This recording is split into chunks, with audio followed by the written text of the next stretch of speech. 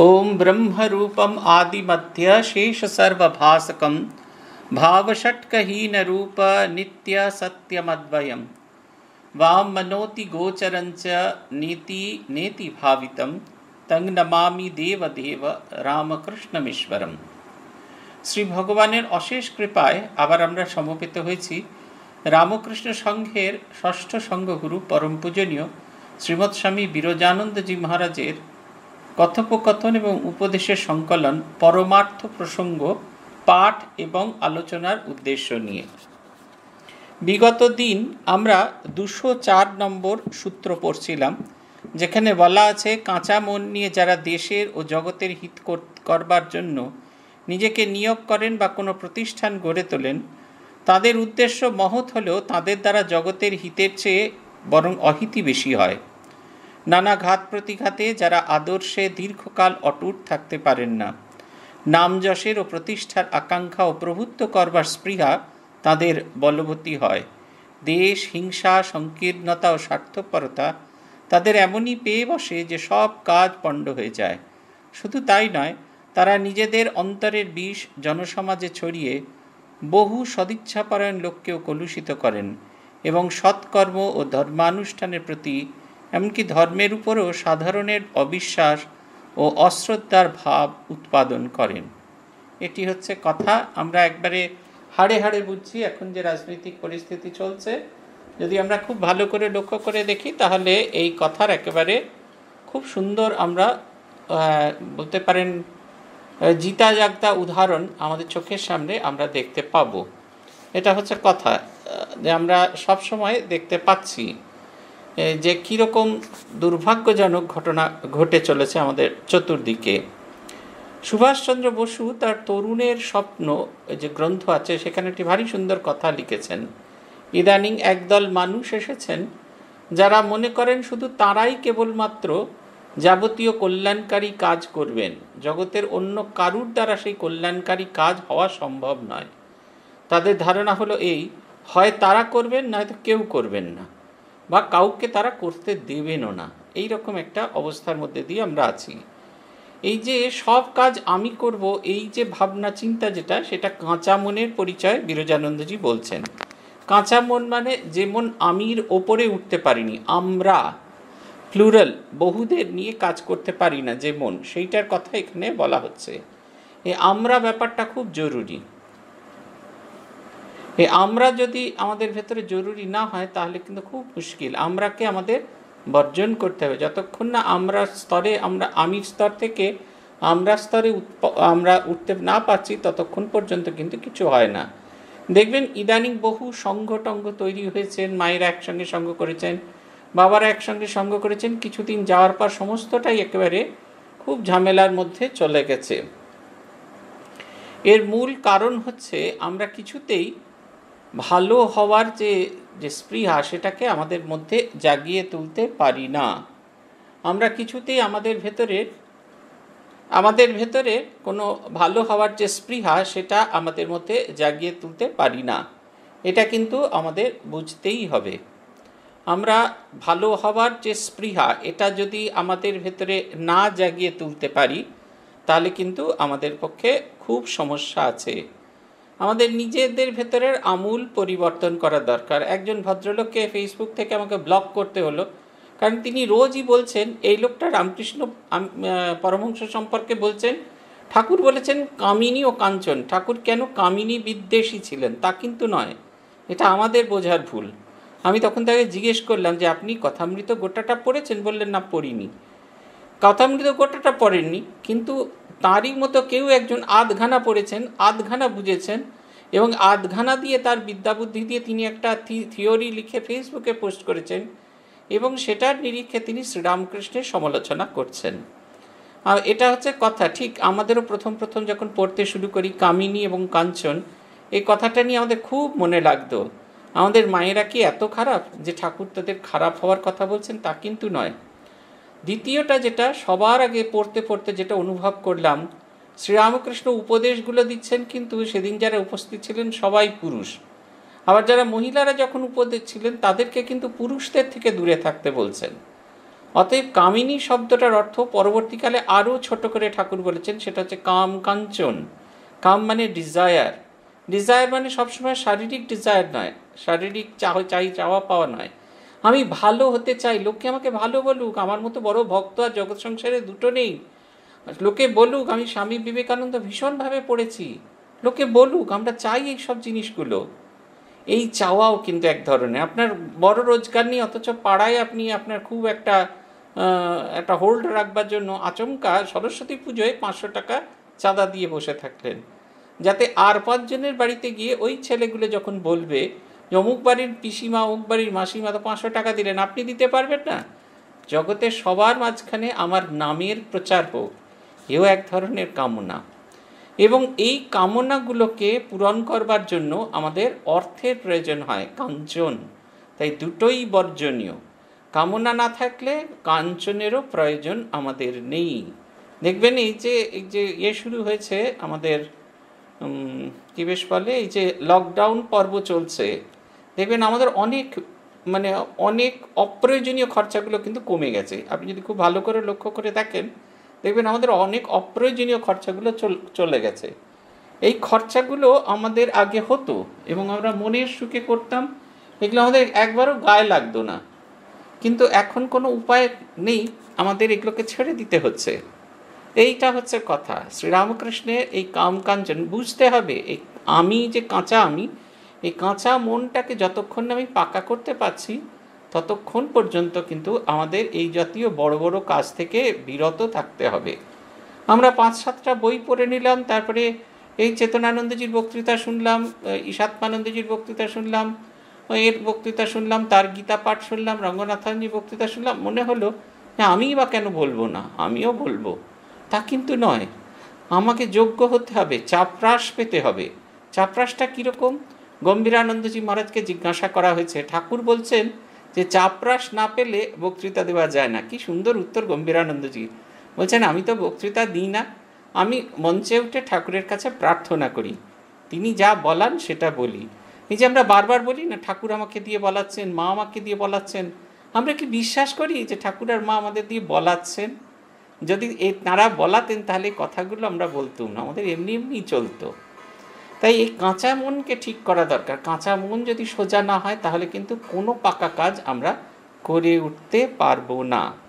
আজকের পড়া দুশো পাঁচ নম্বর সূত্র থেকে আমরা শুরু করছি। আদিতে সৎস্বরূপ অদ্বিতীয় ব্রহ্মই ছিলেন, একলা ছিলেন, ভালোই ছিলেন। কি কুক্ষণে তিনি কি কুক্ষণে তিনি বহু শ্যাম, আমি বহু হব এই সংকল্প করিলেন এবং তাকেও তপস্তপ্তা তপস্যা করে ধ্যান লাগিয়ে জগৎ সৃষ্টি করতে হয়েছিল। সমস্ত স্থাবর জঙ্গম জীবজন্তু সৃষ্টি করে তিনি তাদের মধ্যে অনুপ্রবিষ্ট হলেন এবং একমাত্র মানুষকে বিচার বুদ্ধি দিলেন। ফলে পঞ্চভূতের ফাঁদে ব্রহ্ম পরে কাঁদে। এখন এই বহু বুদ্ধিমন্ত বহুরা নিজেদের নির্বুদ্ধিতা, অকর্মণ্যতা আদি যত দোষ ত্রুটি তাঁর ঘাড়ে চাপিয়ে দিতে খালাস। কোনো কাজে নিজেদের দোষ বা চেষ্টার অভাবে বিফল হলে বলেন, তার ইচ্ছা নয়। আর যেটা করার ভারী ঝোঁক, করে ফেলে পস্তান। বলেন, ঈশ্বরের ইচ্ছায় হয়েছে। পরমেশ্বর কি ইচ্ছা করছেন, না করছেন, তারা সব জেনে ফেলেছেন। তাহলে তারা তো কেউ কেটে নন, সর্বজ্ঞের মর্মজ্ঞ। তারা এও বলেন, বে করে সংসারী হওয়াই ভগবানের অভিপ্রেত। সকলে সাধু হয়ে গেলে সৃষ্টিরক্ষা হবে কি করে? যেন এই ভেবে ভেবে তাদের রাত্রে ঘুম হয় না, যেন জগৎ লোক সাধু হবার জন্য মরণপণ মরণপণ করেছে। কি সুন্দর কথা। এটা ভীষণভাবে আমরা মানে হাড়ে হাড়ে এটা অনুভব করেছি। তাই এটা পড়ে খুব ভালো লাগছে। আদিতে ভগবান একই ছিলেন, এক দ্বিতীয় কোনো সত্তা ছিল না। তিনি বলছেন, এই অবস্থা তিনি ভালো ছিলেন। কিন্তু ওই যে আমাদের সুখে থাকতে ভূতে কিলায় দেখলেন আপনি বেশ ভালো আছেন, কিন্তু আপনার ভেতরে একটা অদ্ভুত জিনিস তৈরি হলো। আহা, পাঁচটা মানুষের যদি ভালো করতে পারি, তাহলে কি সেটা ভালো হবে না? ভালো করতে শুরু করলেন, ভালো করতে শুরু করলে খুব মুশকিল হলো। ধরুন এই যে আপনি ভাবলেন যে এইবার বস্তিতে গিয়ে আপনি ছেলেপুলেদের পড়াবেন, খুব ভালো। আদর্শটা খুব ভালো। তারপরে দুপুরবেলা যে আপনি সারাদিন কাজ করার পর দুপুরে একটু বিশ্রাম নেওয়ার সুযোগ পাচ্ছিলেন দুপুরে বিশ্রামটা চলে গেল।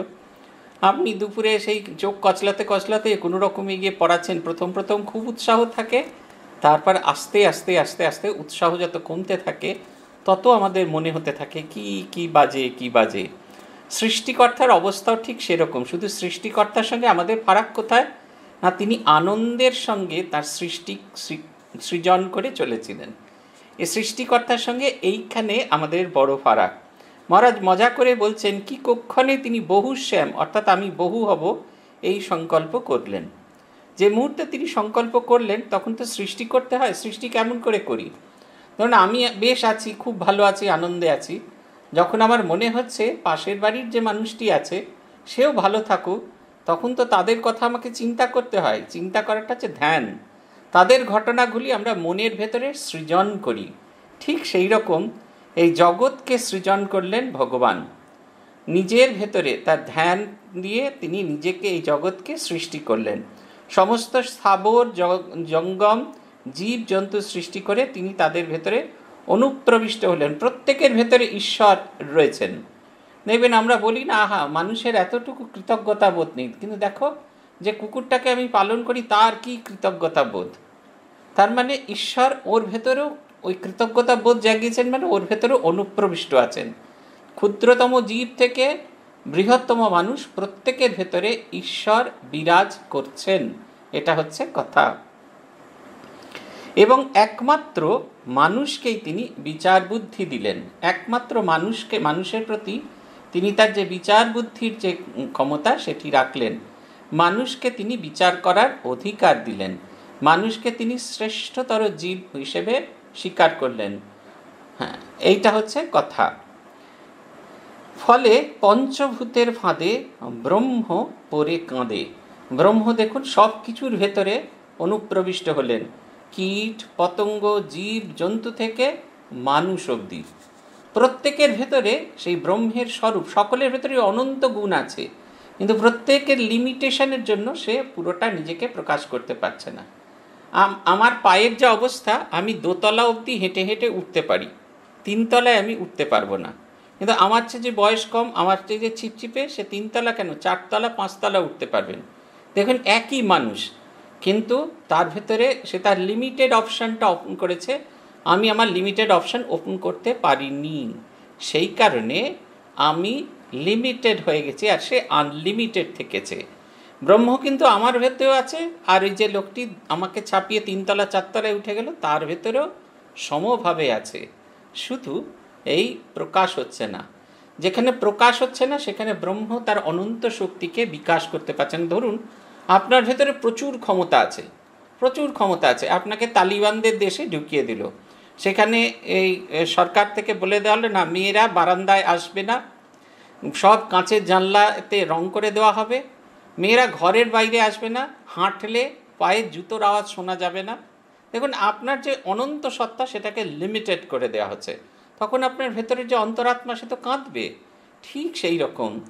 যখন ব্রহ্ম ওই জীব, জন্তু, কীট পতঙ্গের মধ্যে তার সম্পূর্ণ বিকাশ করতে পারেন না, তখন তার ভেতরে সেই কষ্টটা হয়। এই যে কথাটা আছে না, পঞ্চভূতের ফাঁদে ব্রহ্ম পরে কাঁদে, এই তার কথাটা হচ্ছে এই। এখানে এবার মানুষ কি করছে? এবার বহুবুদ্ধি মানুষ মানুষ কি করে? নিজের নির্বুদ্ধিতা, নিজের অকর্মণ্যতা, যা কিছু দ্রোষ ত্রুটি ভগবানের ওপর দিয়ে খালাস হয়ে যায়। এটা আমাদের একটা অদ্ভুত স্বভাব। আমরা নিজেরা চেষ্টা করিনি।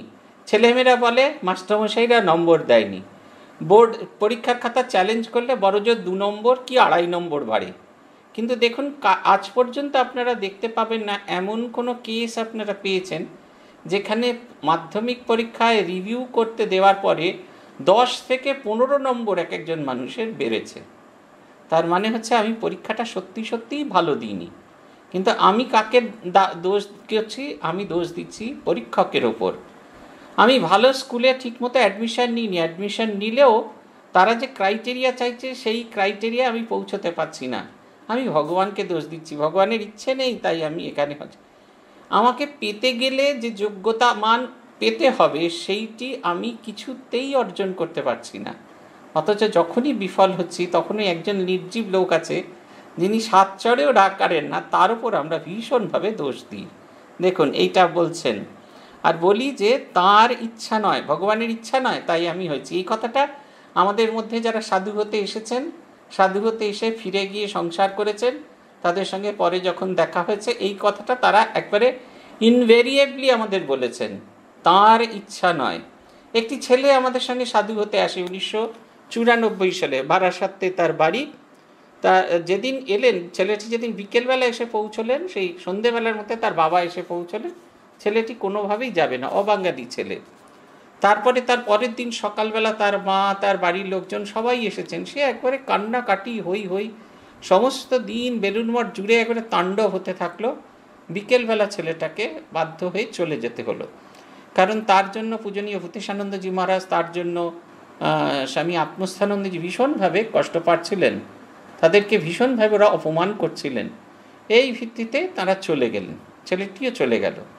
এই ঘটনা ঠিক চার বছর বাদ, উনিশশো, চার বছর নয় চুরানব্বই তো ছিয়ানব্বই সালে আমি বারাসাত মঠে দুর্গাপুজো করতে গেছি। সেইখানে বারাসাত মঠে দুর্গাপুজো করে নবমীর দিন হোম শেষ করে সেদিন, সেবারে নবমী দশমী একদিনে ছিল। নবমীর হোম শেষ হয়ে যাওয়ার পর দশমীর পূজা শুরু হয়েছে, পরিক্রমা হয়েছে, দর্পণ বিসর্জন করে। যখন আমি নটা নাগাদ ফিরে যাচ্ছি ঘরেতে, তখন দেখছি ওই যজ্ঞের কলা অনেকে নেয় না? আপনারা দেখেছেন যজ্ঞেতে যে কলাটা উৎসর্গ করাটা অনেকে নেয়। কি কাজে লাগে জানি না, কিন্তু অনেকে নেন। সেই যজ্ঞের কলা নেওয়ার জন্য ভদ্রমহিলা খুব নিচু স্বরে এর মধ্যে আমাদের ভাণ্ডারের ভেতরে ঢুকেছিলেন। আর ছেলেরা ভেবেছে তিনি চুরি করতে ঢুকেছেন। তাকে চোর ভেবে আটকেছে। তারপরে যখন সবাই চিৎকার, চেঁচামেচি করছে, আমি দূর থেকে দেখছি এবং ভদ্রমহিলাকে ভাবছি যে কি আমি কোথাও কখনো দেখেছি। সেই দিন সন্ধেবেলা সেই ছেলেটা আমার কাছে এসে হাজির হলো। তারপরের দিন তার বাবা। ছেলেটি বাড়ি ফিরে গেছে বটে, কিন্তু সারাদিন অফিসে যেরকম কাজ করে করে। সন্ধে হলে একদম গলা অব্দি মদ খেয়ে বাড়িতে ফিরে এসে তাণ্ডব করে। আজ বাবাকে ধরে পিটায়, কালকে মাকে ধরে পিটায়, পরশুদিন বোনকে ধরে পেটায়, ভাঙচুর, সমস্ত কিছু করে। তার বাবা তখন আমাকে বলছেন, এ ছেলে সাধু হলেই বোধহয় ভালো ছিল। আপনি একটু দেখবেন, ছেলেটা আমার সঙ্গে বেলুর মঠে দেখা করতে যায়। আমি তখন ওকে এই কথাটি বলি যে, তুমি যে কাজকর্ম করছ, তুমি বলছো ঠাকুরের ইচ্ছা নয়। তোমাকে যেতে বলেছিল? তোমাকে তো কেউ যেতে বলেনি। তুমি কেন চলে গেলে? তোমার ভেতরে যদি বৈরাগ্য ঠিক ঠিক থাকতো, তাহলে তো তোমাকে ফেরত যেতে হতো না। আমি আমরাও তো তোমাদেরই মতো কারুর বাড়ি থেকে এসেছি। তিনি আমরা কেন রেখে দিলুম? আমাদের তাঁর ইচ্ছাটা তো পঞ্চাশ ভাগ। আমারও তো পঞ্চাশ ভাগ ইচ্ছা দিতে হবে, নাহলে একশো হবে কি করে? একটা উচ্চতম জীবন যাপন করতে চলেছি যখন, যেখানে আমরা আদর্শকে যদি ভালো করে না ধরে রাখতে পারি, তাহলে কেমন করে থাকব? একজন মায়ের কথা আমি মাঝে মাঝে বলি, আপনারা হয়তো শুনেছেন, রাগও হতে পারেন আমরা ভিক্ষা করতে গেছি।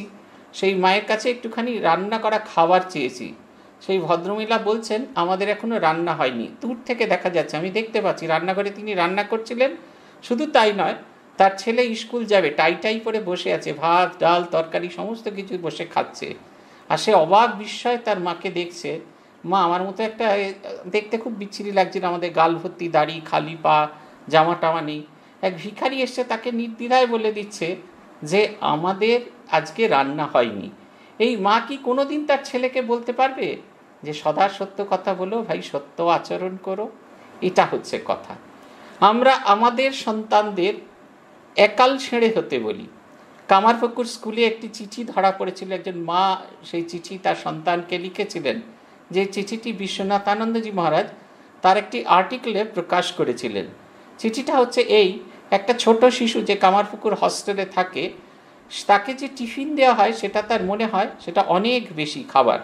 তাই সেই খাবারটাকে সে আলাদা করে, এঁঠো করবার আগেই সে আলাদা করে সরিয়ে রাখে। তার খাওয়া হয়ে গেলে যে খাবারটা সে খেতে পারল না, যেটা সে এঁঠো করেনি, সেই খাবারটা দারোয়ানের যে ছেলে আছে তাকে গিয়ে পৌঁছে দিয়ে আসে। তার বন্ধুর মারফত তার মা এই কথাটা শুনেছেন। তিনি ছেলেকে চিঠি লিখছেন। তোমাকে ওখানে রাখিবার জন্য, খাইবার জন্য যে পয়সা দিতে হয়, সেটা সবটাই আমরা দিয়া থাকি। ওই খাবার সম্পূর্ণটাই তোমার। তুমি যদি না খেতে পারো, সেটি ডাস্টবিনে ফেলে দাও। তবু অন্যকে কখনো দিও না।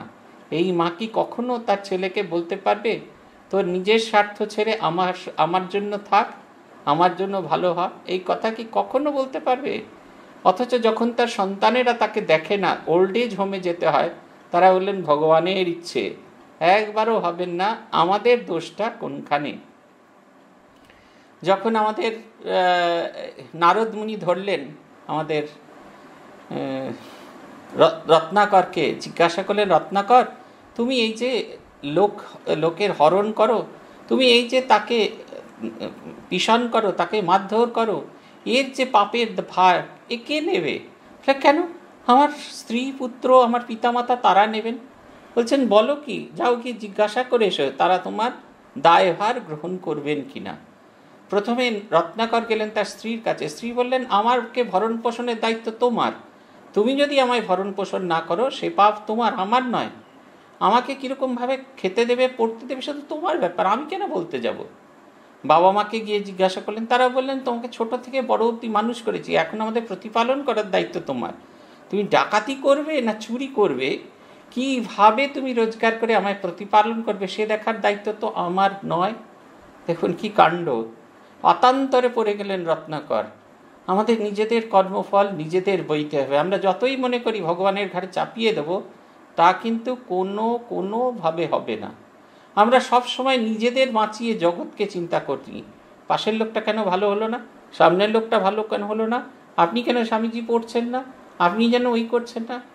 আমাকে কেউ কেউ বিচার বুদ্ধি করার ইয়ে দিয়েছে, চাবুকটা আমার হাতে দিয়েছে। আমি নিজেকে বদল করতে পারিনি। আমি কেমন করে জগৎকে বদল করব। এইটার কথা হচ্ছে, তখন আমরা বলি, পরমেশ ঈশ্বরের ইচ্ছা হয়েছে। পরমেশ্বর কি করছেন, না করছেন, তারা সব জেনে ফেলে দিয়েছেন। তাহলে তারা তো কেউ কেটা নন, সর্বজ্ঞের মর্মজ্ঞ। সর্বজ্ঞ যিনি জানেন তাকে আমরা জানি। অতএব আমরা সর্বজ্ঞের মর্মজ্ঞ। মহারাজ মজা করে বলছেন তারা এও বলেন, বিয়ে করে সংসারী হওয়াই ভগবানের অভিপ্রেত। সকলে সাধু হয়ে গেলে সৃষ্টি রক্ষা হবে কি করে? যেন সৃষ্টি রক্ষা করার জন্য ভগবান আমাকে অ্যাপয়েন্ট করেছে। আমার ছেলেটা যদি সাধু হয়, তাহলে সব গোলমাল হয়ে যাবে। আমরা সব সময় চাই আমাদের সন্ন্যাসী গুরু হোক। আর যখন বিপদে পড়ব, তখন সন্ন্যাসীদের সঙ্গে যেন থাকতে পারি। যখনই অসুস্থ হয়ে পড়ব, রামকৃষ্ণ মিশন সেবা প্রতিষ্ঠানে যেন যেতে পারি। সন্ন্যাসীদের চোখের সামনে থাকতে পারি। কিন্তু যখন প্রশ্নটা আসে, আপনার ছেলেটা কি সাধু হবে? না না, সবে রেলে চাকরি করেছে। এখন লাল টুকটুকে বউ নিয়ে আসব। আপনার সঙ্গে দেখা করতে যাব মহারাজ। তারপরে গিয়ে হাতে আপনাকে পাঁচশোটি টাকা দিয়ে প্রণামী দিয়ে চলে আসব। বাস, আমাদের সঙ্গে আপনাদের সম্পর্ক খালাস। তারপরে যখন ছেলে দেখবে না, তখন মেয়ে দেখবে না, কি দেখুন ভগবানের, কি কষ্ট! আমাদের এইরকমভাবে ফেলে রেখে দিয়েছে। একবারও আমরা নিজেদের দিকে তাকাই না। সেই ছেলেটা যে সাধু হতে চায়, তাকে আমরা জোর করে টেনে নিয়ে সংসারে নিয়ে যেতে চাই। আবার কোনো বাবা মা আছে, যে ছেলে সাধু হতে চায় না, তাকে ধরে বেঁধে সাধু করার খুব চেষ্টা করে। সেও খানিকটা অন্যদের কথায় ভাবতে গিয়ে করে কিছু বছর পরে হয় থাকে নাহলে চলে যায়। এবং এই যেটুকু সময় কাটায়, সে সময়টুকু তার ভীষণ কষ্টে কাটায়। প্রত্যেককে তার মতো হতে দিন, সবার আগে নিজেকে নিজের মতো হতে দিন। এটা হচ্ছে এই এই যে এটা তার সূত্রটা, তার উপদেশ হচ্ছে এইটা। এর নির্যাস হচ্ছে এটা। সবার আগে নিজেকে নিজের মতো হতে দিন। আপনি যা হতে চাইছেন, আপনাকে বিকশিত করার জন্য আপনি যে যে গুণগুলোকে অর্জন করতে চাইছেন, সেইগুলোকে অর্জন করুন। আপনি নিজেকে নিখুঁত করার চেষ্টা করুন। তারপরে যখন আপনি জগতের দিকে তাকাবেন, তখন দেখবেন যে জগৎ আপনার, আপনাকে, আপনার ছাড়াই খুব ভালো আছে। এটা হচ্ছে কথা। আপনি নিজেকে নিখুঁত করার জন্য আপ্রাণ চেষ্টা করে চলুন। নিজেকে যত নিখুঁত করার চেষ্টা করবেন, তত দেখবেন যে আপনার জীবনটা অনেক বেশি সুন্দর হবে, অনেক বেশি ভালো হবে। আমি আগের দিন মনুমেন্টের গল্প বলেছিলাম। মনুমেন্টের প্রথম চারতলা অবধি, শহীদ মিনারে আমি গিয়েছি, প্রথম চারতলা অবধি কোনো আলো নেই, কেন গবাক্ষগুলো সব বন্ধ। একতলায় সে আলোর মধ্যে থেকে যখন আপনাকে দরজাটা বন্ধ করে দেয়, একবারে ঘুটঘুটে অন্ধকার। উঁচু উঁচু সিঁড়ি, হাত দিয়ে, ধাপ দিয়ে দিয়ে দিয়ে উঠতে হয়। চারতলায় যখন আপনি গিয়ে পৌঁছবেন, চারতলায় পৌঁছানোর পরে আপনি একটু একটু আলো দেখতে পাবেন। তারপরে সেই আলো দেখা হয়ে গেলে তারপরে আপনি কি করবেন? ধীরে ধীরে যত উপরে উঠতে থাকবেন, তত আপনি ওই গবাক্ষ দিয়ে পৃথিবীটাকে ছোট দেখতে থাকবেন। যখন বারান্দার ওপর উঠে যাবেন, তখন দেখবেন প্রথম বারান্দায় উঠে যাবেন, তখন মনে হবে একেবারে কিচ্ছু নয়। মানুষগণগুলো সে যেন মিনিয়েচার, আপনার বাড়িতে যে খেলনার ডল পুতুল আছে সেগুলোর মতো। তারপরে যখন তার উপরের বারান্দায় উঠবেন, তখন সেটাও মনে হবে না। মনে হবে জগৎটা যেন আঁকা একটা ছবি, আর কিচ্ছু নয়। যা কিছু দৃশ্যমান, সব মনে হয় ছবি। শ্রীরামকৃষ্ণের একটা দিব্য দর্শন আছে। আপনারা ভালো করে একটু লীলা প্রসঙ্গ পড়বেন। আমি উপদেশ দিচ্ছি না পড়বার কথা বলছি। শ্রীরামকৃষ্ণকে যদি বুঝতে হয়, লীলা প্রসঙ্গ পড়াটা ভীষণ জরুরি। কারণ লীলা প্রসঙ্গের পাতায় পাতায় শারদানন্দজি আর কারুর কথা লেখেননি, শ্রীরামকৃষ্ণের মুখনিসৃত শব্দ বলেছেন। যে কথাগুলি শ্রীরামকৃষ্ণ তার যে কথামৃতকার, তাকেও বলেননি। আপনি কথামৃত খুঁজে বেড়ান, দেখবেন কোথাও শ্রীরামকৃষ্ণের প্রথম দর্শনে ঠাকুরের নিজের যে দর্শন, সেটি সম্পর্কে কিচ্ছু বলানি অথচ লীলা প্রসঙ্গের মধ্যে আছে, যেখানে শ্রীরামকৃষ্ণের প্রথম দর্শন হচ্ছে, দর্শনের পর কেমনভাবে তিনি জগৎকে দেখতেন, তার কথাটিও শ্রীরামকৃষ্ণ বলছেন। বলছেন, যখন সেই আকুতি তৈরি হতো, মনে হতো ওই জগতে আমি আর পেরে উঠছি না, তখন সেই বুক ঘষে ঘষে কাঁদতুম, আর জগন্মাতার দর্শন চাইতুম। জগন্মাতা আগের বার যখন তাকে দর্শন দিয়েছিলেন, তখন কথা দিয়েছিলেন, তুমি যখনই চাইবে তখনই তোমায় দর্শন দেব। সেইটা তিনি দেখতেন। যে জগতে সবাই মানুষ দাঁড়িয়ে আছে। তাদের দেখে মনে হতো ছায়াছবির আঁকা পট। আপনারা যারা পুরনো দিনে যাত্রা দেখেছেন, আপনাদের মনে পর সবাই নিশ্চয়ই দেখেছেন, পুরনো দিনে যাত্রায় দেখবেন পেছনে একটা স্ক্রিন আঁকা থাকতো। যদি নাটক গ্রামের থিয়েটার হতো, তাহলে তাতে নদী টদি, নৌকা বেয়ে যাচ্ছে, একটা স্থির চিত্র করে রাখা হতো। সামনে নাটক হয়ে যাচ্ছে, কিন্তু পেছনের ওই স্ক্রিনটা থাকতো। ঠিক সেই রকম দেখতে পাবে জগৎটা সবটা যেন সেই জগতের যা কিছু মানুষ দাঁড়িয়ে আছে, তারা যেন সেই ছায়াছবির ওই আঁকা জিনিসগুলো পর্দায় আঁকা ছায়াছবির মতো। আর তারই মাঝখানে জগন্মাতা যেন বিরাজ করছেন। জগন্মাতা আমাদের ভেতরে বিরাজ করছেন। তাই বলছেন যে, বে করে সংসারী হয় ভগবানের অভিপ্রেত। সকলে সাধু হয়ে গেলে সৃষ্টি রক্ষা হবে কি রাহা যেন আমরাই আমাদের ওপরই দায়িত্ব দিয়েছে এই জগৎকে এগিয়ে নিয়ে যাওয়ার। যেন এই ভেবে ভেবে তাদের রাত্রে ঘুম হয় না, যেন জগৎ শুদ্ধ লোক সাধু হবার জন্য মরণপণ করেছে। ইদানিং ফেসবুকে দেখি সব অল্প বয়সী ছেলে, ছেলেও ছোট, মেয়েও ছোট, সব টপাটপ টপাটপ কি সুন্দর বিয়ে হচ্ছে, তার ওয়েডিং সব ফটোগ্রাফি আসে। আমরা এগুলো আগে দেখিনি, কি আজকে দেখছিলাম খুব মজার একটা ইয়ে যে অমুকের স্কিনে হলদি মাখানো হবে মানে গায়ে হলুদ। সেটার ইংরেজি লিখেছে putting haldi on the skin ceremony এটা হচ্ছে সেই সেরিমনিটার নাম। সেখানে সবাই হলুদ হলুদ জামা কাপড় পরেছে ছেলেরা হলুদ পাঞ্জাবি পরেছেন, মায়েরা সব হলুদ শাড়ি পরেছেন, আর সে খুব হইচই করে খুব নাচ গান হচ্ছে, আর সেই বাংলাদেশের কোনো একটা বোধ হয় এ তো বাংলাদেশের সিস্টেম দেখেছিলাম, ওখানে ওই সকালের যে অনুষ্ঠানে তাতে সব ফুলের গয়না পরা। ইদানিং দেখছি কলকাতাতেও যে সমস্ত ছবি আছে সব ফুলের গয়না পড়ছে সে ফুলের গয়না তো আমরা জানতাম বসন্ত উৎসবে পড়ে, এখন দেখি সব উৎসবই পড়ে। সেই রকম সব সব ছবি আসে। দেখুন, জীবনের সব বদল হয়ে যাচ্ছে। এই অনুষ্ঠানটাই আমাদের প্রধান হয়ে যাচ্ছে। কিন্তু অনুষ্ঠানের পেছনে যে কথাগুলো বলা হচ্ছে, সেগুলো কিন্তু আমাদের কাছে আনইম্পর্টেন্ট বিয়েই করুক, তাতে কোনো কথা নেই। কিন্তু যে সপ্তপদী যে যাচ্ছে, সেই মন্ত্রের অর্থ আমরা কেউ জানতে চাই না। আমরা প্রতিজ্ঞা করছি, জীবনে প্রতিক্ষণে, প্রতি মুহূর্তে তোমার সঙ্গে সঙ্গে থাকবে যে সাত পায়ে এগিয়ে যাওয়া একসাথে। সাতটা সাত রকম প্রতিজ্ঞা করি আমরা। একবারও আমরা সেসব নিয়ে কখনো ভাবি না। আমরা মনে করি ওইভাবে এগিয়ে যেতে পারলে আমাদের জীবন ভালো হবে। যেন জগৎ শুদ্ধ লোক সাধু হওয়ার জন্য মরণাপন পণ করেছে। জগৎ শুদ্ধ লোক মরণাপন পণ করলেও সাধু হওয়াটা এত সহজ নয়। এই যে আমার গেরুয়া পরে সাধু হওয়াটা যেমন এমন সহজ নয়, আপনাদের লাল, কালো, হলুদ, সবুজ, নীল, বেগুনি পরেও সাধু হওয়াটা খুব কঠিন। বিজ্ঞান মহারাজকে জিজ্ঞাসা করা হয়েছিল, আপনি কিছু উপদেশ দিন। বিজ্ঞান মহারাজ বললেন, কি উপদেশ দেব? মাস্টার বিদ্যাসাগর মহেশের জীবনে প্রারম্ভেই বলে দিয়ে গেছেন, কি উপদেশ দুটো? এক হচ্ছে সদা সত্য কথা বলিবে, আর পরের দ্রব্য না বলিয়া লইলে চুরি করা হয়। বলছেন, এই দুটোই ঠিকঠাক মতো পালন করো, দেখবে তোমাদের সব হচ্ছে। এই দুটোই দেখবেন, আমি তো নিজে দেখেছি, এই দুটোকে পালন করাটা খুব কঠিন। পরের দ্রব্য না বলিয়া লইলে চুরি করা হয়। আমরা পাশের বাড়ির লোকেদের কেচ্ছা কুচ্ছা গল্প করতে কি ভালো না বাসি? সে তো পরেরই দ্রব্য। তাকে না জানিয়ে নিয়ে এসে নিজেরা চর্চা করছে এবং সেটাকে নিজেরা তাকে আরও কালচার তৈরি করছে। এই রকম হচ্ছে। পরের দ্রব্য না বলিয়া লইলে চুরি করা হয়। আর সদা সত্য কথা বলিবে যে, কি কঠিন তপস্যা যারা করেন তারা জানেন। এই সর্ব অবস্থাতে, কাজে, কথায়, চরিত্রে সদ্বাবস্থাতে এই সদা সত্য কথা বলবে, এই বোধটাকে নিজের ভেতরে জাগাতে হয়।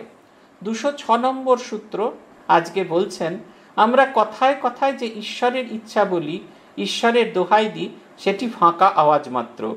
যেমন ছোট ছেলেমেয়েরা বলে, মাইরি ঈশ্বরের দিব্যি। ইংরেজে বলে থ্যাংক গড। অর্থাৎ ভগবানকে ধন্যবাদ বা, মা, মাই গড, হা ভগবান। ঈশ্বর ইচ্ছা বোধ তারই হয়। ও এইভাবের কথা বলা তার মুখেই সাজে।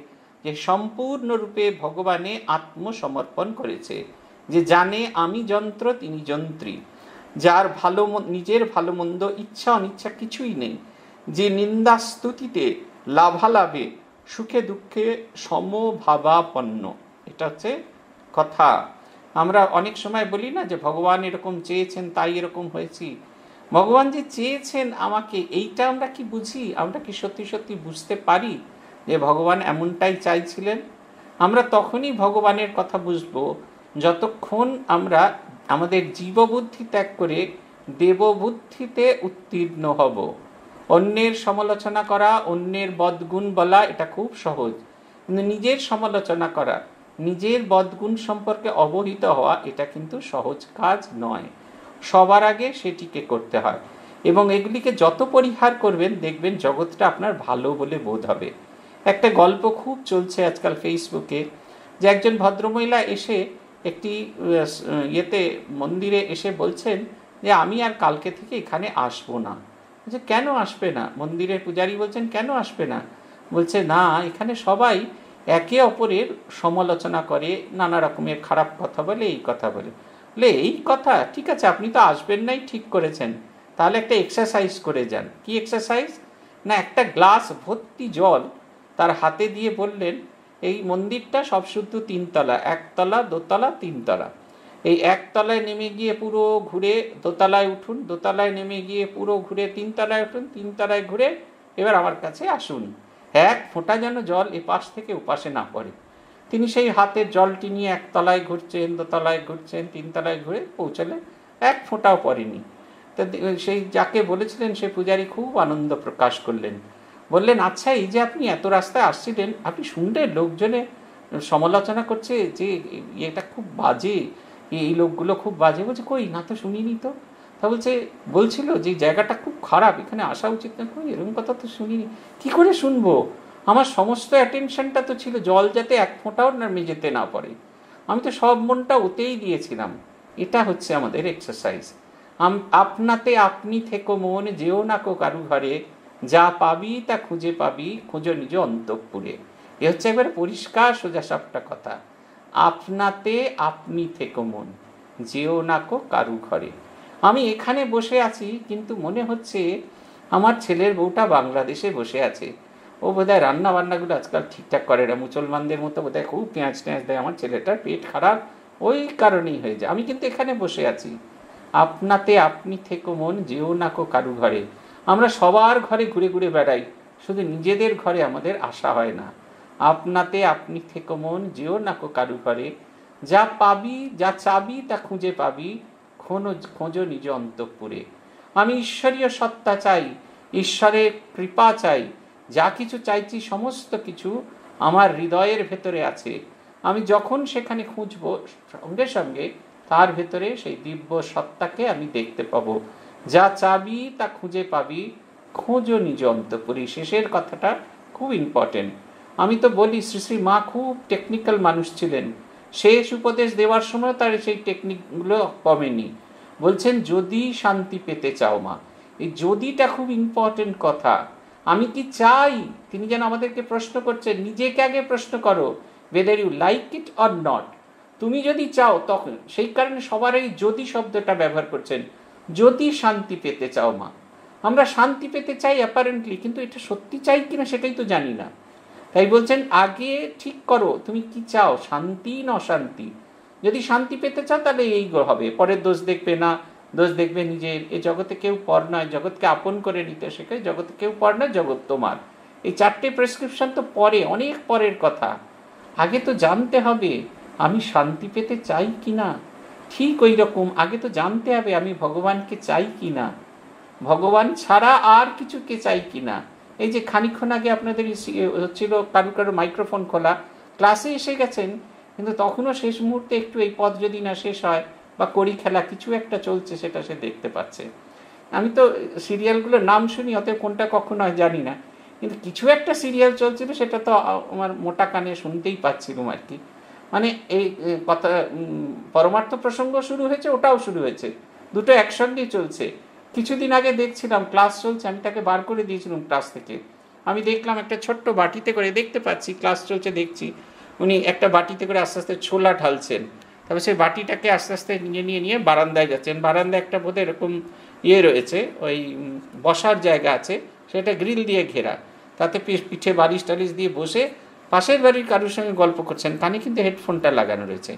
আমি মনে মনে ভাবছি, আমরা কত লজ্জা পাই যখন লোকের সঙ্গেও কথা বলতে হয় আর চিঠি ড্রাফট করতে হয়। আর ভাবি, মনটা আমাদের কীরকম দ্বিধা বিভক্ত হয়ে গেছে, ভগবান কীরকম করে দিয়েছেন। কিন্তু আমি এদের গুণ দেখে আরও বেশি ইয়ে হই। যা চাবি, তা খুঁজে পাবি, খুঁজে নিজ অন্তঃপুরে। আমাদের নিজেদেরকে আগে বদলাতে হবে। তখন আমরা বুঝতে পারব, এই যে বলি, ঈশ্বরের ইচ্ছা। ভগবানের কোনটা ইচ্ছা, কোনটা অনিচ্ছা, তখন হয়ে যাবে। দেখবেন শ্রীরামকৃষ্ণ একটি ভারী সুন্দর কথা বলছেন। বলছেন, মন এক সময় গুরু হয়ে যাবে। গুরু মানে মন এক সময় আমাকে অন্ধকার থেকে আলোর দিকে চালিত করবে। মন এক সময় গুরু হয়ে যাবে। সে বলবে, এই এই এই। এই যে, এই এই এই, এইটা হওয়াটা খুব জরুরি। এটা হতেই হবে। এটা যখন হবে, তখন আমরা নিজেরাই বুঝতে পারব আমরা নিজেরা ঠিক পথে চালিত হচ্ছি না। তখন নিজেদের ভালো মন্দ, ইচ্ছা, অনিচ্ছা আমাদের কিছুই থাকবে না। যে নিন্দাস্তুতিতে লাভালাভে, সুখে দুঃখে সমভাবাপন্ন হবে। দেখবেন আমাদের ভেতরে একটা আমূল পরিবর্তন হয়ে গেছে। তখন নিন্দাস্তুতি আমাদের স্পর্শ করবে না, সুখ, দুঃখ আমাদের আমাদের স্পর্শ করবে না, লাভ বা পরাজয় কোনো কিছু আমাদের স্পর্শ করবে না। দুশো সাত নম্বর সূত্র। বেদ বলেন, যা পূর্ণ, তা তিনকালেই পূর্ণ। তার কম বেশি ক্ষয় বৃদ্ধি নেই। পূর্ণ হতে পূর্ণ দিলে পূর্ণই বাকি থাকে। পূর্ণতে পূর্ণ যোগ করলেও সেই পূর্ণই থাকে। যা এক, তা একমাত্র পূর্ণ ব্রহ্ম, পরমাত্মা। তেমনি পূর্ণের বিনিময়ই পূর্ণত্ব লাভ হয়।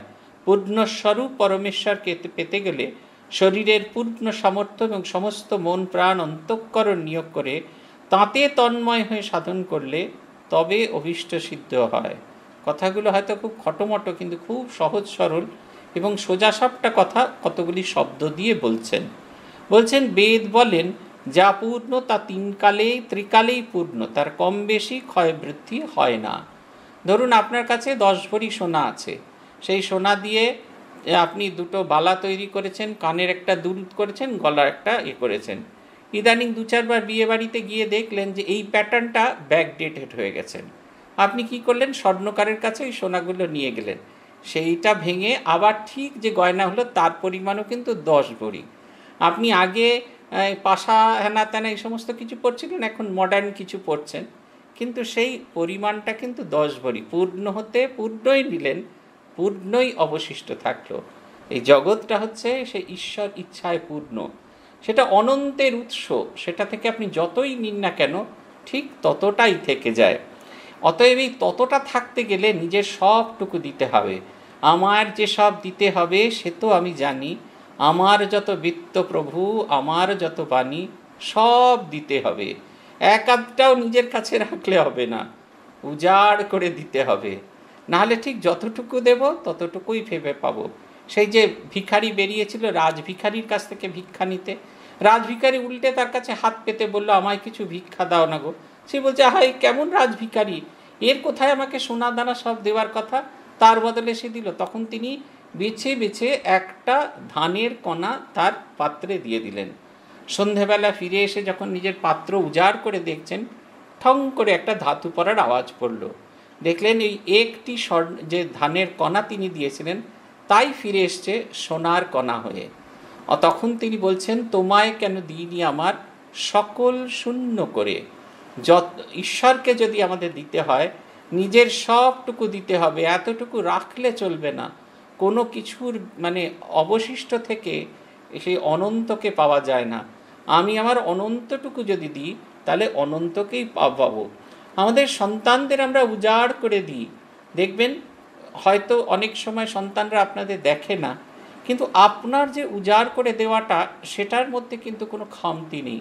সেখানে কিন্তু কখনো কষ্ট হয়নি সে কখনো আপনার দিকে আঙুল তুলে বলতে পারবে না, তুমি আমায় এটা দাওনি, তুমি আমায় সেটা দাওনি, তুমি আমায় ওটা দাওনি।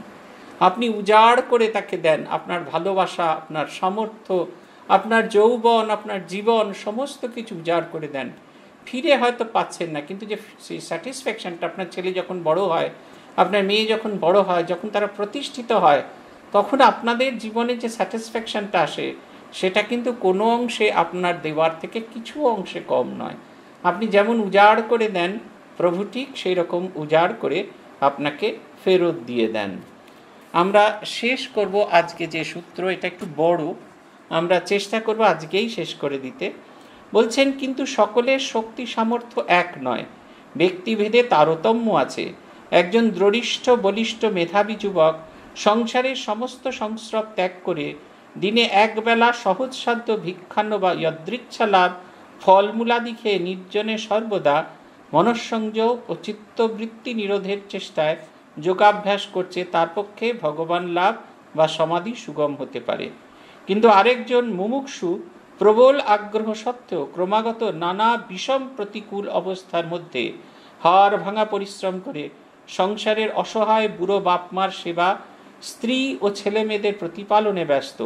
আবার অপর একজন ভক্ত দীর্ঘকাল কঠিন রোগে শয্যাগত, অসহায়, তার শরীর, মন যথাযথ সাধন ভজন করতে অক্ষম, অবসীর্ণ, অবসন্ন। তাদের মুক্তির কি কোনো উপায় হবে না? তারা কি অনন্তকাল ধরে কার্যকারণ সমুদ্রের ঝড়ের সময় ছোট নৌকার মতো আছাড় খেতে থাকবে? তাদের উদ্ধারের কি কোনো আশা নেই? তারা কি কর্মপিপাকে নির্মম কার্যকারণ চক্রে পোকামাকড়ের মতো পিষে যাবে? না, করুণাময় পরমেশ্বরের রাজত্বে তা কখনো হতে পারে না। তাদের বুক ফাটা কান্না তার কানে পৌঁছবই। তাদের, তারা প্রাণের ভেতর আশা আর সান্ত্বনার বাণী শুনতে পাবেই। তাদের পারিপার্শ্বিক অবস্থা যতই প্রতিকূল হোক না কেন, তাদের মুক্তির আকাঙ্ক্ষা যত গভীর ও প্রবল হয়, নিজেদের অক্ষমতা উপলব্ধি করে তারা ব্যাকুল প্রাণে ভগবানের শরণাপন্ন হয়। ভগবানেরই সংসার জেনে কর্তব্য পুঁথিতে সমস্ত কাজ নির্লিপ্তভাবে করে যায়। কোনো কাজ বা কারোর প্রতি মায়া, মমতায় বদ্ধ না হয়।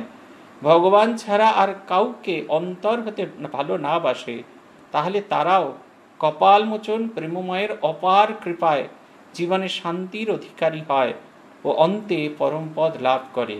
এটা যে কত বড় আশার কথা ভগবান বলছেন, এ আমরা কল্পনা করতে পারি না। যিনি সাধন ভজন ঠাকুরের একটা ভারী সুন্দর উদাহরণ আছে, যে বরযাত্রী চলেছে রাস্তা দিয়ে। একজন সন্ন্যাসী আর একজন কুলি চলেছে সেই কুলির মাথায় সেই অনেকগুলো ইট রাখা আছে। সন্ন্যাসীর মাথায় কোনো বোঝ নেই, সে তো ঘাড় ঘুরিয়ে তাকাবে। তাতে আর কৃতিত্ব কি? বলছেন, কৃতিত্ব হচ্ছে ওই যে ওই মাথায় বিস্ফোন বোঝানিও ঘাড় ঘুরিয়ে বরযাত্রার বরযাত্রার রং তামাশা দেখে। ভগবানের কৃপা যে সাধু হয়েছে তার চেয়েও বেশি যে সংসারে থেকে তার নিত্যকর্ম করছে, সে তার মধ্যে দিয়ে ভগবানকে খুঁজে বেড়াচ্ছে। তার প্রতি তার কৃপা অনেক বেশি। দেখুন, কি সুন্দর কথা। আমরা অনেক সময় মনে করি না যে সংসারে থাছি বলে আমাদের কখনো ঈশ্বর লাভ হবে না। সাধুগুলি বেশ ভালো, গেরুয়া পড়ে আছে যে তার ঈশ্বর লাভ হবে। যোগেন মহারাজের সঙ্গে শ্রী শ্রী ঠাকুরের একটা কথোপকথন আছে। যোগেন মহারাজ ঠাকুরকে জিজ্ঞাসা করছেন, ঠাকুর, যোগেন মহারাজকে জিজ্ঞাসা করছেন হ্যাঁ রে, আমাকে তোর কি বলে বোধ হয়? যোগেন মহারাজ বলছেন, আপনি গৃহীরও নন, আপনি সন্ন্যাসীরও নন। বলে, বলিস কি রে? আমি গৃহীরও নই, সন্ন্যাসীরও নই, তাহলে আমি কার? বলছে, যে মন প্রাণ অন্তরাত্মা দিয়ে আপনাকে খুঁজেছে, আপনি শুধু তার। আমরা যদি মনে করে থাকি ঘর বাড়ি ছেড়ে এসে গেরুয়া পরে সেই বা তবে ভগবানের ওপর আমার পেটেন্ট রাইট আছে, তাহলেও যেমন আমি ভগবানকে পাবো না। আর আমি ঘরে থাকি বলে নানা কাজ করতে হয়তো ভগবানকে আমি পাবোই না, তাকে আমি চাইব না। সেও ভগবানকে পাবে না। যে যেখানেই থাকুক না কেন, মন প্রাণ অন্তরাত্মা দিয়ে যে ভগবানকে ডেকেছে, ভগবান তার, ভগবান অন্য কারুর নন। হ্যাঁ এটা কিন্তু আমাদের বুঝতেই হবে। এটা হচ্ছে সত্য কথা। এটা হচ্ছে কথা। আমাদের এই বোধটা কিন্তু জাগাতে হবে। আমাদের মন প্রাণ অন্তরাত্মা দিয়ে ভগবানকে ডাকতে হবে। বলছেন না, ভগবান শুধু অন্তরটা দেখে, কে কি করছে সেটা দেখে না। আমাদের যখন দুর্গা পুজো শেখানো হতো, পূজনীয় অনঙ্গ মহারাজ আমাদের যিনি ভাইস প্রেসিডেন্ট ছিলেন জগদ্দানে ছিলেন। অনঙ্গ মহারাজের কথা একটা খুব সুন্দর করে বলা হতো। অনঙ্গ মহারাজ নাকি বলতেন, মা আমাদের বিধিময়ী, মা আমাদের তিথিময়ী, মা আমাদের ভাবময়ী। বিধিময়ী ঠিক ঠিক বিধি অনুসরণ করে চলতে হয়। তিথি ঠিক তিথিতে পুজো শুরু করে ঠিক তিথিতে পূজা শেষ করতে হয়। কিন্তু দেখবেন অনেক সময় বিধি আর তিথি রাখতে গিয়ে আমরা হই হই করে ফেলি, চিৎকার চেঁচামেচি করে ফেলি। বলছেন, সেটা কখনোই কোনো অংশে কাঙ্ক্ষিত নন। কারণ তিনি আদতে ভাবটিকে গ্রহণ করেন। ভাবগ্রাহী জনার্দন। ভগবান আমাদের হৃদয়ের ভাবটিকে গ্রহণ করেন। তাই ঠিক ঠিক ভাবটা থাকা দরকার। আপনি হয়তো বেশিক্ষণ জব ধ্যান করতে পারছেন না, এটা কথা। আপনার অফিসের কাজ এত বেশি, আপনার সংসারের কাজ এত বেশি, আপনি হয়তো পাচ্ছেন না। কিন্তু যেটুকু সময় করছেন, সেটুকু সময় মন প্রাণ উজাড় করে করুন। তিনি তো আপনার হৃদয় দেখছেন, তিনি তো আপনার অ্যাকাউন্টিং মাস্টার নন। আপনি কত জব করলেন, কতটা জব করলেন, সেটা তো তিনি দেখবেন না, তিনি তো দেখবেন আপনি কত ভালোবাসা দিয়ে কাজটা করেছেন। ওই সব কাজের ভেতরে ভালোবাসা, শুধু ঈশ্বরকে চাই। এই বোধটা যখন আমাদের জাগবে, দেখবেন আমাদের জীবনের আমূল পরিবর্তন আসবে। তখন আমরা যেখানেই থাকি, ঘরেই থাকি আর ঘরের বাইরে থাকি, রামকৃষ্ণ পদ আমাদের, তা সেটাই আমাদের প্রাপ্তির একমাত্র জায়গা, আর কিছু নয়। আমার খুব খারাপ লাগছে আজকে এই টেকনিক্যাল একটু সমস্যার জন্য। যন্ত্র থাকলে যন্ত্রের নানা রকম যন্ত্রণা থাকে তো, তাই আমাদের শুরু করতেও একটু দেরি হয়েছে। আর এর পরের যে সূত্র সেটা এত দীর্ঘ, সেটা যেটুকু সময় আছে আর করা যাবে না। তাই আবার আগামী শুক্রবার ভগবানের কৃপা হলে আপনাদের সঙ্গে দেখা হবে। আগামীকাল যারা শোনেন, বাংলাদেশ থেকে আমরা যেটা রোজ আমরা করি, প্রত্যেক শনিবার যে সৎপ্রসঙ্গ হয়, সেই বাংলাদেশে সৎপ্রসঙ্গ চলবে। সেটা সন্ধে সাড়ে সাতটা থেকে। সূত্রগুলো আমি দিয়ে দেবো, আপনারা নিজেদের মধ্যে একটু সার্কুলেট করে নেবেন। আর আপনারা আমাকে কালকে অবশ্যই ভেবে বলবেন, যারা বাক্সারার মায়েরা আছেন, রবিবারের ক্লাসটা তো বাক্সারা মায়েদের জন্যই, বাকিটা এক্সটেন্ডেড ক্লাস যে পুঁথি হবে কি না? কারণ রাখি টাকি বাঁধতে গিয়ে খাওয়া দাওয়া তো ভালো হবে? খাওয়া দাওয়ার পরে আবার চারটে থেকে পাঁচটা, আবার আমরা ক্লাসে বসতে পারব কি না? সেটা হচ্ছে কথাই দেখুন, এখন একজন আসছেন ক্লাসে এন্ট্রি নেবার জন্য। হ্যাঁ এইরকম তখন হবে। তাই আপনারা আগেই বলে দেবেন। তাহলে আমিও একটু রাখিটাকি, আমাকেও তো ছেলেপুলেরা, আমাদের ছাত্ররা এসে রাখিটাকি বাঁধে। আমি তো হবে না বলিনি, আমি বলেছি যে আপনারা করবেন কি না। ঠিক আছে, তাহলে আমিও আর সেদিনকে তাহলে ঘুমোবো না, আপনাদের সঙ্গে ক্লাস করব। ভালো থাকবেন, সবাই আনন্দে থাকবেন। আজ এই পর্যন্ত। প্রণতানাম প্রসীদত্বম। দেবী বিশ্বাতিহারিণী। त्रैलोक्यवासिनामिड्डे लोकानां वरदा भव ओम शांति ओम शांति ओम शांति हरि ओम तत्सत श्रीरामकृष्णार्पणमस्तु।